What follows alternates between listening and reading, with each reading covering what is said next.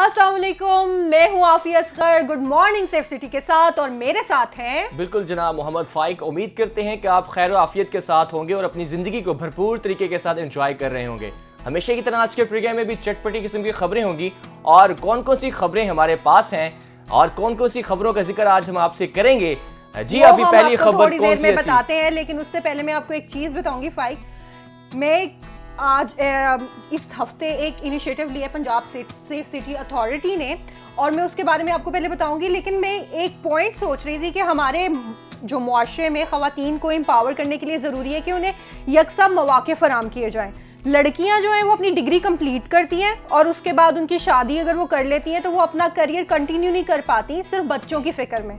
और Punjab safe city authority ने इस चीज़ का इनिशिएट किया इनिशिएटिव लिया और जनाब हाल ही में पंजाब सेफ़ सिटीज़ अथॉरिटी ने डे केयर सेंटर का किया है, है। और इसमें आईजी पंजाब की अहलिया ने शिरकत की बतौर मेहमान खसूसी और इस डे केयर सेंटर का क्याम का मकसद बेसिकली ये था कि जितनी भी खातन पंजाब सेफ़ सिटीज़ अथॉरिटी की ऑर्गेनाइजेशन में काम कर रही हैं उनको एक प्लेटफॉर्म प्रोवाइड किया गया है ताकि वो अपने बच्चों की देखभाल इजीली कर सकें और इसके साथ साथ अपनी जॉब पर भी फोकस कर सकें। बहुत कम ऑर्गेनाइजेशन हैं जो ऐसा प्लेटफॉर्म प्रोवाइड करती हैं खातन के लिए। और basically Punjab safe cities authority खातन को एम्पावर भी करता है और ये पंजाब सेफ़ सिटीज़ अथॉरिटी का बेसिकली इंकरेज करता है खातन को कि खातन भरपूर तरीके से और मेहनत के साथ काम करें और साथ में अपने बच्चों की भी देखभाल और देखो इस चीज़ से कितना फ़ायदा है ना खातन को कि वो यहाँ पर काम कर रही हैं उनको कोई ऐसा प्रॉब्लम नहीं है कि वो घर में उनको पहले ये अपना प्रॉब्लम होती थी कि उनको घर में हमेशा हर वक्त अपने फैमिली का ही ख्याल रहता था कि बच्चे क्या कर रहे होंगे ऐसा होता है जब आप काम कर रहे होते हैं आपके जहन में ये सवाल आ रहा होता है मेरा हम्म। बच्चा क्या कर रहा हम्म। होगा उसने भी खाना भी खाया होगा या नहीं खाया होगा हम्म। तो ऐसे सवाल के जवाब अब आपको Punjab cities authority day care centre की सूरत में दे रही है और, और हम उम्मीद करते हैं कि मजीद बाकी ऑर्गेनाइजेशन को भी इससे कोई इंस्पिरेशन ले वो भी अपने ऑर्गेनाइजेशन में डे केयर सेंटर को इंट्रोड्यूस करवाए। और ये डे केयर सेंटर सिर्फ़ खातन के बच्चों के लिए नहीं है आदमी भी अपने बच्चे जो हैं वो लेकर आ सकते पुलिस पुलिस के अहलकार पुलिस की जितनी भी खातन है पुलिस डिपार्टमेंट की वो इससे मुस्तफ़ हो सकती हैं। ये ना सिर्फ़ पंजाब सेफ़ सिटीज़ अथॉरिटी के लिए है बल्कि पंजाब पुलिस की जितने भी नौजवान जितने भी खातन हैं पंजाब पुलिस में वर्किंग कर रही हैं वो भी इससे फ़ायदा उठा सकती हैं।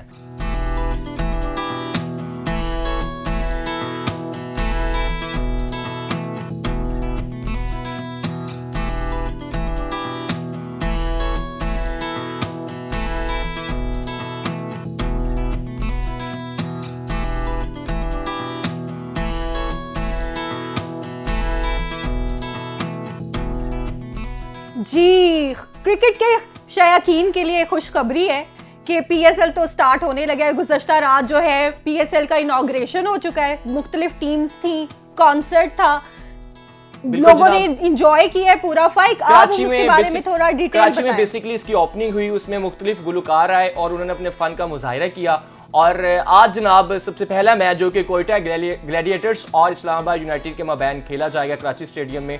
और तमाम शायक तमाम शहरी काफ़ी पुरजोश नज़र आ रहे हैं। ए, ये बड़ा मुश्किल है जांचना ये बड़ा मुश्किल है पहचानना कि कौन सी इस वक्त ऐसी टीम है जो सबसे स्ट्रॉन्ग टीम है। हम्म। लेकिन अगर हम बात करते हैं कोयटा ग्लैडिएटर्स की तो कोयटा ग्लैडिएटर्स इस वक्त बाकी तमाम टीमों से थोड़ा सा मुनफरिद है। उसकी मेन रीज़न ये है कि इस वक्त जो तकरीबन जो विनिंग पॉइंट्स हैं उनके 61.90 हैं क्योंकि इतने पॉइंट्स तक वो अभी तक जितने भी पीएसएल हो चुके हैं उसमें वो अच्छा परफॉर्म कर चुके हैं। और उसकी एक मेन वजह ये भी है कि जो कोयटा ग्लैडिएटर्स है उनके अपने ज़िले अपने शहर में इस वक्त कोई भी ऐसा स्टेडियम मौजूद नहीं है जिस पर वो खेल सकती हैं। हम्म। हालाँकि बाकी टीम जो हैं अपने अपने शहरों में उनके स्टेडियम भी मौजूद हैं वहाँ पर वो खेल भी सकती हैं लेकिन कोयटा के पास इस वक्त कोई ऐसा स्टेडियम नहीं है। वो अपने शहर से दूर रहकर वो क्रिकेट खेलते हैं और अब ये बड़ा मुश्किल है कि कोई उनको सपोर्ट करता भी है कि नहीं करता क्योंकि जैसे कराची स्टेडियम है लाहौर स्टेडियम है और बाकी शहरों के स्टेडियम मौजूद हैं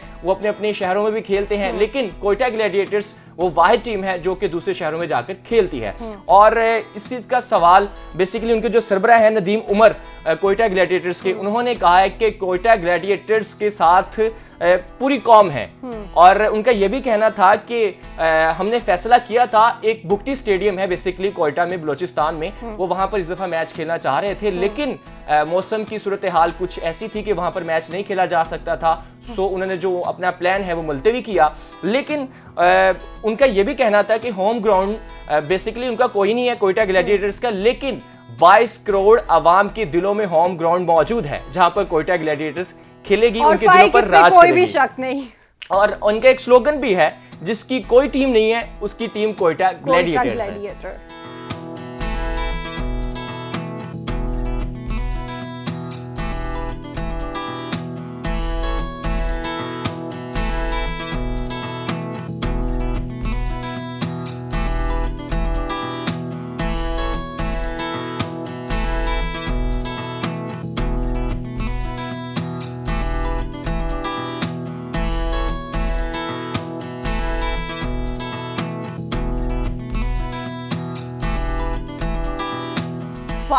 आपको पता है पाकिस्तान में माइकल जैक्सन के जो भतीजे हैं वो आए हुए हैं। सीरियसली बिल्कुल और माइकल आप... जैक्सन को कौन नहीं जानता? बिल्कुल, बिल्कुल जनाब उनके भतीजे छह दिन के लिए पाकिस्तान आए और उन्होंने एक वीडियो पैगाम जारी किया हम्म। और उसमें माइकल जैक्सन के भतीजे ने पाकिस्तान के लिए बहुत अच्छे अल्फाज इस्तेमाल किए और कहा कि पाकिस्तान इंतहाई खूबसूरत मुल्क है।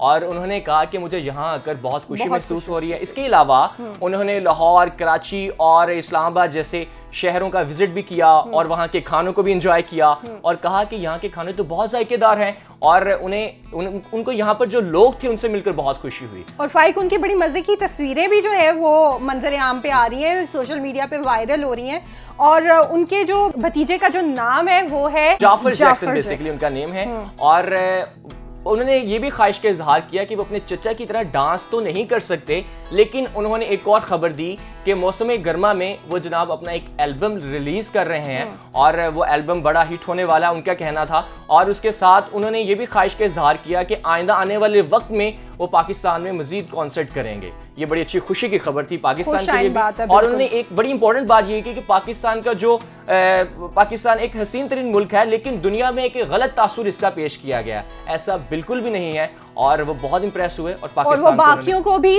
पाकिस्तान आने की जो दावत दी है कि पाकिस्तान भी आए और इसको विज़िट करें। बिल्कुल।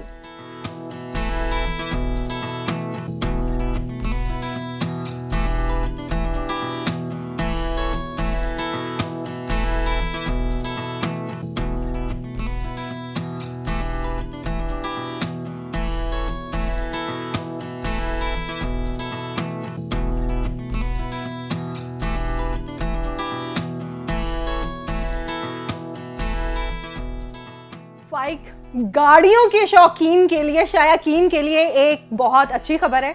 एग्जीबिशन होने जा रही है लाहौर एक्सपो सेंटर में और वहाँ पर हर तरह की गाड़ियों की नुमाइश है। लग्जरी गाड़ियाँ हैं ट्रैक्टर्स हैं रिक इवन रिक्शाज इन सब की जो है वो एग्जीबिशन होगी और ऑटो शो है प्रॉपर एक। अगर आप चाहें तो वहाँ पर जाएँ ये दो रोजा नुमाइश है और यहाँ पर इसको ज़रूर एंजॉय करना चाहिए जिनको जी पाकिस्तान का बिगेस्ट ऑटो शो 2020 जो कि हम्म। लाहौर एक्सपो सेंटर में मुनद किया जा रहा है।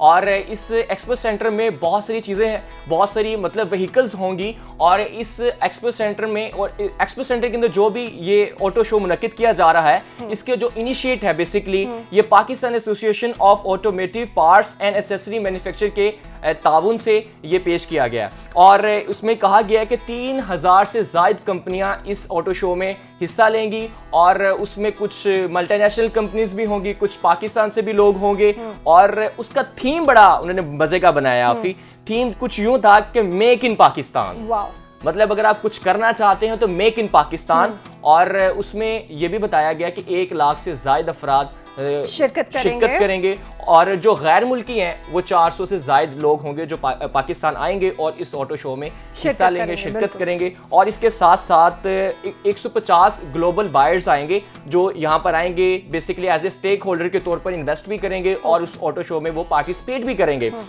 और उन्होंने जो इसका ऑटो शो में विजिटिंग टाइम है बेसिकली अगर आप लोग जाना चाहते हैं इक्कीस फरवरी से तेईस फरवरी तक ये auto show expo centre Lahore में मुनद किया जा रहा है। इसमें आप लोग जा सकते हैं। इसका जो टाइम है बेसिकली सुबह दस बजे से शाम सात बजे के मबैन किसी भी वक्त आप जा सकते हैं वहाँ पर। और उसमें फ़ूड स्टॉल भी होंगे और अपना अपने फ्रेंड्स के साथ जाए फैमिली के साथ जाए। बेसिकली वहाँ पर अच्छी नॉलेज है। अच्छी नॉलेज है। बेसिकली अफी वहाँ पर मैं आपको बताता चलूँ अपने नाजिन को भी बताता चलूँ कि वहाँ पर किस किस्म की व्हीकल्स की ऐसी कौन सी कैटेगरीज मौजूद होंगी जिसे आप जाकर देख सकते हैं अपनी पसंदीदा इवन दैट स्पेट पार्ट्स की भी वहाँ पर कुछ ना कुछ मशीनरी होगी कुछ ना कुछ चीज़ें होंगी। अगर हम बात करते हैं पैसेंजर कार्स ट्रक्स उसके अलावा ट्रैक्टर मोटरसाइकिल और इसके अलावा auto spare parts machinery maker related service accessories और ट्रैकिंग एसेट्रा इस तरह की बहुत सारी और भी चीज़ें होंगी। और इसके अलावा स्पेशली जो इन स्पेयर पार्ट्स को बनाने वाली मशीन है वो भी वहाँ पर मौजूद होंगी। नुमाइश के लिए आप लोग जाएँ और वहाँ पर जाकर एंजॉय करें। और ट्रैफ़िक सेफ्टी अवेयरनेस भी होगी वहाँ पे। फ्री एग्जीबिशन है मौका मिस मत करें ज़रूर जाएँ।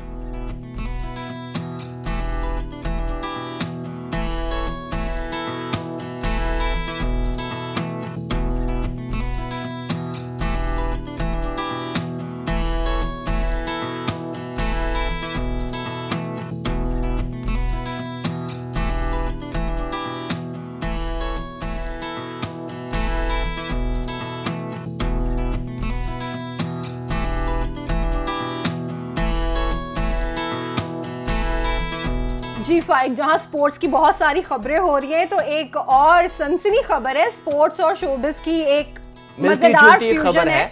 और बिल्कुल अगर हम बात करते हैं शोबिस की तो शोबिस में आहद रजा मीर और सजल अली का काफ़ी नाम है।, नहीं है बिल्कुल और इनकी जोड़ी बहुत मकबूल है जी और जब सेट पे आते हैं तो छा जाते हैं इन्होंने एक आईपीएल सोकर लीग है जो कि पर्शियन गोल्फ प्रो लीग के नाम से football federation Islamic republic of Iran ने बनाई। हम्म। उसमें इन्होंने एक टीम को खरीदा है। सपोर्ट किया। सपोर्ट किया है बेसिकली हम्म। और इसके बाद ये है कि अहद का कहना था कि यूके में उनको ये मौका मिल रहा है कि वो अपने फ़ैन से वहाँ मुलाकात हम्म। करें। और उनका ये भी कहना था कि बेसिकली उनको टीम खरीदने के बाद मकसद ये था कि पाकिस्तान को वहाँ पर वो नुमाइंदगी कर रहे हैं पाकिस्तान की। और सजल का एक ट्वीट भी जो है वो आप सामने आया है वो असल में इस टीम को सपोर्ट करके पाकिस्तानी खातन को एक मोटिवेशन देना चाहती हैं कि वो स्पोर्ट्स की तरफ़ आएँ उसमें इंटरेस्ट लें और उसको उसमें उसको ज्वाइन करें बाकायदा और हमारे मुल्क की पूरी दुनिया में नुमाइंदगी करें। और इसके साथ साथ जनाब अगर हम बात करते हैं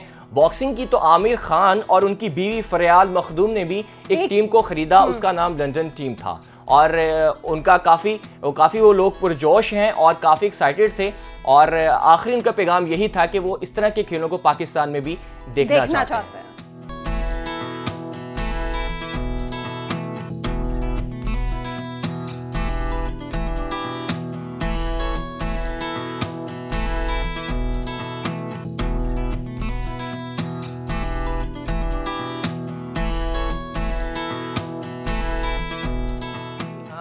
शोबिस की बात तो कर रहे हैं। एक और पर्सनालिटी कौन नहीं उनको पसंद करता? सबके वन एंड ओनली जनाब फवाद खान। बिल्कुल। बिल्कुल जनाब फवाद खान ने एक प्रेस रिलीज़ की और उन्होंने उसमें बताया कि उनकी जो मूवी दो आने वाली फ़िल्म थी 2020 ईद उल फित्र पर उन्होंने वो रिलीज़ करनी थी। मूवी का नेम है जनाब। मनी बैग गारंटी और एक और मूवी है। बिल्कुल जी दी लेजेंड मौला जट फ़िल्म लेकिन लेकिन बात यहाँ पर कुछ यूँ है आफी। कि जो मनी बैक गारंटी है वो ईद उल फित्र 2020 पे रिलीज़ हम्म। नहीं होगी। उन्होंने ये फैसला ये किया। उनके शायकीन के लिए थोड़ी हार्ट ब्रोकन न्यूज़ है। लेकिन, लेकिन लेकिन इतनी हार्ट ब्रोकन नहीं है उसके साथ साथ उन्होंने ये फैसला किया है कि जो लास्ट ईयर 2019 में दी मौला legend Maula Jatt film release होनी थी सैनमा गुरु की जीनत बननी थी वो अब 2020 में ईद उल फित्र में वो रिलीज़ होगी। हाँ, बेसिकली अब वो उसको एक साथ रिलीज़ नहीं करेंगे थोड़ा सा टाइम गैप है। बेसिकली वो चाह रहे हैं कि दोनों मूवीज़ एक साथ रिलीज़ ना, ना हो, हो। जो दी लेजेंड मौला जट फ़िल्म थी वो किसी लीगल मैटर्स की वजह से उसके ऊपर ताखिर का शिकार थी लेकिन अब वो 2020 में ईद उल फित्र में उसको रिलीज़ करेंगे और उसके कुछ ही मंथ के बाद कुछ माह के बाद वो जो मनी बैग गारंटी फ़िल्म है उनकी उसको रिलीज़ करेंगे।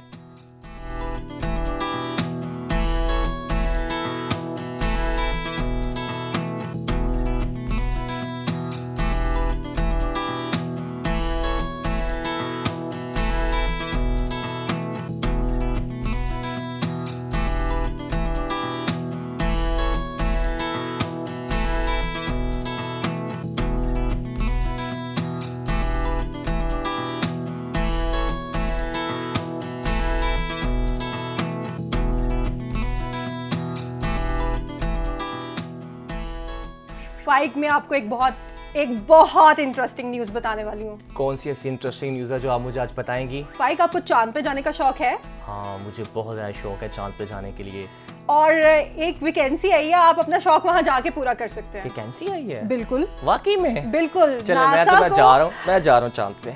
अच्छा अभी नहीं अच्छा अभी अभी अच्छा, आप रुक जाएँ अभी हमारा जो शो है वो बहुत अभी बाकी है। देखिए मैं कितना एक्साइटेड हो चुका हूँ कि चाँद पर जाने के लिए वैकेंसी आई और मैं उस पर ज़रूर जाऊँ। तो जनाब नासा ने क्या किया जी? नासा ने जॉब वैकेंसी जो है वहाँ पर अनाउंस की है। और वहाँ पर क्योंकि आधी सदी से ज़्यादा हो गया है और वहाँ पे कोई बंदे ने किसी और बंदे ने आके चाँद पे कदम नहीं रखा तो अब वो अब नासा की ख्वाहिश है। कि वो पहली खातून और और एक और मर्द को वो चाँद पर 2024 में वो भिजवाए। उनका प्लान है 2024 का और वो इसके लिए लोगों को अभी से हायर कर रहे हैं। और अगर आप लोग दरखास्त जमा करवाना चाहते हैं तो उसकी डेट भी उन्होंने अनाउंस की है। बिल्कुल जमा करवाएँ और उसके लिए उन्होंने डेट तो अनाउंस दो मार्च से 31 मार्च तक आप एप्लीकेशन सबमिट करवा सकते हैं। उसकी रिक्वायरमेंट्स ये हैं अब रिक्वायरमेंट्स बताते हैं कि बेसिकली रिक्वायरमेंट्स उसकी क्या है। आपको खूबसूरत होना चाहिए। नहीं अच्छा, बिल्कुल भी नहीं। और आपको एक्चुअली आपको असल में सिर्फ़ और सिर्फ़ सिर्फ़ और सिर्फ़ नहीं आपके पास आपको कपड़े हसीन होने चाहिए आफी। फाइक ये हम वहाँ पर एक सेटअप नहीं लगा रहे हैं सेफ़ सिटी मॉर्निंग शो का वहाँ पर हम वहाँ पर जाएँगे अच्छा। हाँ। हम नहीं जाएँगे जिन वहाँ पर जो रिक्वायरमेंट्स हैं वहाँ पर आप आपका मैथमेटिक्स में आपकी स्पेशलाइजेशन होनी चाहिए आपको इंजीनियरिंग की होनी चाहिए आपकी साइंस रिलेटेड सब्जेक्ट में आपके क्वालिफिकेशन होनी क्वालिफिकेशन चाहिए होनी चाहिए। चले आफी वो- मैं तो फिर रह गया हूँ मैं तो नहीं जा सकता। मैं भी रह गई हूँ फाइक सिर्फ़ आपके हमले में बराबर की शरीक हूँ। मुझे इंतहाई मुश्किल लगता है और कोई बात नहीं आप लोग जा सकते हैं। आप आप अगर एक्सपर्ट हैं मैथमेटिक्स में आप एक्सपर्ट हैं इन साइंस में कंप्यूटर साइंसेस में तो डेफिनेटली आप लोग अप्लाई कर सकते हैं। हम्म। और उसके लिए शहरियत का भी होना ज़रूरी है कि आप सिटीजन हो। बिल्कुल। अमेरिका आप अमेरिकन आपकी। अमेरिकन। नेशनैलिटी होनी चाहिए। और उसके अलावा आपके सब्जेक्ट साइंस सब्जेक्ट में आपकी स्पेशलाइजेशन होनी चाहिए मैथमेटिक्स में होनी चाहिए। आप इसके अलावा आप लोग वहाँ इसके अलावा आपको वहाँ पर ट्रेनिंग दी जाएगी और वहाँ पर आपको ट्रेनिंग के बाद आपको चाँद पर भेजेंगे। और जो उस ट्रेनिंग पे प्रॉपरली फिट नहीं होते जो ट्रेनिंग के बाद वो सिलेक्ट नहीं होते तो उनको दिल बर्दाश्त होने की ज़रूरत नहीं है। नहीं है। वो कहीं और उसको एडजस्टमेंट करेंगे ना। वो चाह रहे हैं किसी और डिपार्टमेंट में उसको यूटिलाइज कर लेंगे। और इसके साथ उन्होंने कहा कि अगर कोई मतलब कि पायलट है और वो जहाज़ उड़ा सकता है तो वो भी इस सीट के लिए अप्लाई कर सकता है। लेकिन उसका एक्सपीरियंस होना चाहिए। एक्सपीरियंस मैटर करता है और इसके साथ साथ जनाब ये ज़रूरी नहीं है कि अगर आप नासा में सेलेक्ट नहीं होते तो आप दिल बर्दाश्त हो जाए और आपको बड़ा सदमा हो जाए कि मैं क्यों नहीं सेलेक्ट हुआ। हुआ। तो ये ज़रूरी नहीं कि नासा की तरफ़ से बहुत सारे लोग गए हैं और भी बैन अवी सतह पर दूसरे मुल्कों से भी लोग चाँद पर गए हैं। लेकिन अगर आप लोगों को वो सिलेक्ट नहीं करते तो एक ऑर्गेनाइजेशन है बेसिकली वर्जन इंटलांटिक जो आम शहरियों को खिला खिला में बेसिकली भिजवाएगी। उसका कहना ये है कि अगर आप लोग नासा के तो नासा के लिए सिलेक्ट नहीं होते तो हम आपको चाँद पर भिजवा सकते हैं। और बरतानिया के एक शख्स ने अपनी जो बरतानिया की नेशनैलिटी को कैंसिल किया और उसने अमेरिकन नेशनैलिटी ली है और सिर्फ़ सिर्फ़ अपनी जॉब के लिए। चाँद पर जाने के लिए चाँद पर जाने He के लिए।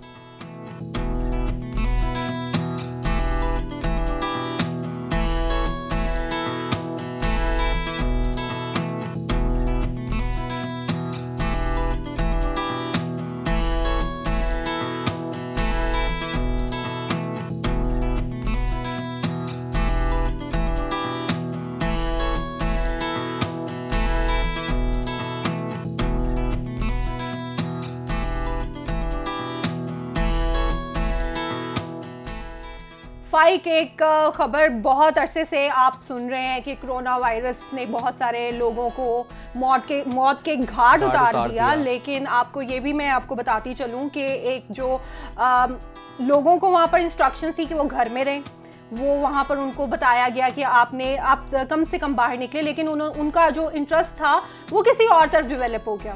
और उन्होंने हस्पतालों की कंस्ट्रक्शन में अपना जो था अपना ध्यान लगाना शुरू कर दिया। उन लोगों ने अपनी वहाँ पर सपोर्ट करनी शुरू कर शुरू दी कर और दी चीन में जो हस्पताल की इमारतें जो बनाने वाली मशीनरी है उस हम्म। वो एज ए हीरो के तौर पर अब वहाँ पर प्रेजेंट हो रही हैं। क्योंकि उन मशीनरियों ने बहुत सारे हॉस्पिटल बनाने में बड़ा रोल प्ले किया हम्म। और बेसिकली लोग जो घरों से बाहर नहीं निकल सकते थे क्योंकि वायरस फैल रहा था ज़्यादा तेज़ी से तो लोगों को घरों से निकलने से मना किया गया था तो इन मशीनरियों ने बहुत जल्द और मतलब अस्पतालों का अस्पताल तमीर किए। एक चीन के सरकारी टीवी सरकारी चैनल ने सीसीटीवी जिसका नाम है उसने उसकी लाइव स्ट्रीमिंग भी दिखाई जिसको करोड़ों लोगों ने लाइव देखा। लोगों ने फिर क्या किया कि उसके पेजेस बना लिए फर्दर और ग्रुप्स बना लिए और उसमें डिस्कशन स्टार्ट हो गई। हम्म, और उन मशीनरियों को एज ए हीरो के तौर पर लोग लेना शुरू कर दिया और उनके मज़े मज़े के नेम भी रखना शुरू कर दिया और नेम कुछ यू रखे उन्होंने। जो बेसिकली मशीन थी सीमेंट मिक्सर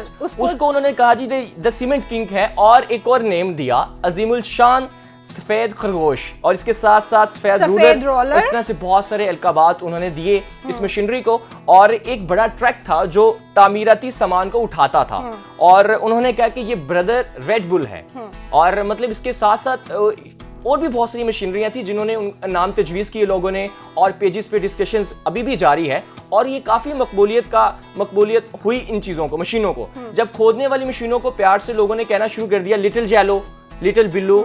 मतलब इस तरह के नेम उन्होंने उसके लिए तजावीज़ किए हम्म। लेकिन जनाब जो इस वक्त सबसे मकबूल मशीनरी है और जिन्हें नन्हे सितारे कहा जाता है play fork lift basically play fork lift एक मशीनरी है जिनको लोगों ने कहा कि ये नन्हे सितारे हैं और और उन लोगों ने कहा कि ये दुनिया के मुहाफिज हैं हम्म। उन लोगों ने कहा हम्म। और बीजिंग फ़िल्म एकेडमी के उस्ताद शी वेंस यू ने कहा है कि लोग काफ़ी खौफजदा हैं लेकिन अब लोगों को लग रहा है कि उनको जंगजू मिल गए हैं और इस कोरोना वायरस से लड़ने के लिए ये मशीनरी उनके लिए काफ़ी मुफीद साबित हुई है